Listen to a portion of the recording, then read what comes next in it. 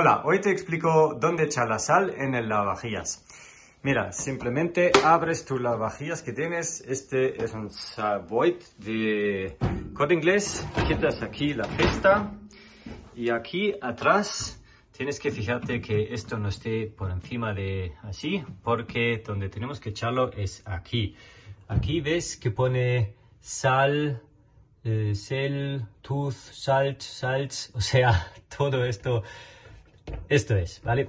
O sea, simplemente giras así, media vuelta, no se da más, y después ya lo puedes levantar, así, ¿ves? No se gira más, simplemente se abre así media vuelta. Y ahora aquí ya veis que no hay nada porque este lavavajillas es nuevo.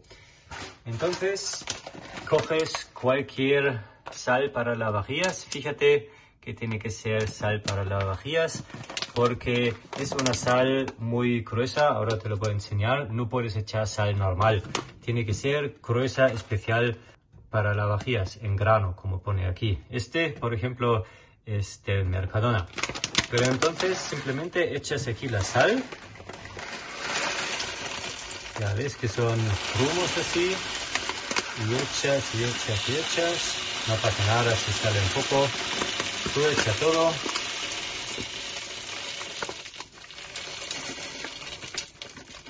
Y si va algo al lado tampoco pasa nada. En este caso esta bolsa ya estaba vacía y no se ha llenado. Pero tú echa todo hasta que se llene, más o menos hasta aquí, y después ya lo puedes volver a cerrar. Así que lo que ha salido por fuera también lo puedes echar dentro. Esto no pasa nada, porque esto después se llena con el agua. Pero bueno, si se queda un poco fuera tampoco pasa nada. Que esto es simplemente para que esté limpio. Pero luego con el próximo lavado se limpiará. Así que eso. Ya tenemos la sal dentro. Colocamos otra vez la tapa. Eso es un poco más difícil porque lo tienes que colocar.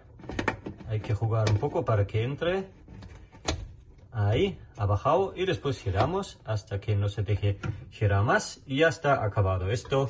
Podemos retirar nuestro envoltorio y ahora ya tienes rellenado la sal para el próximo lavado de tu lavavajillas. Simplemente cerramos y ya lo podías poner en marcha.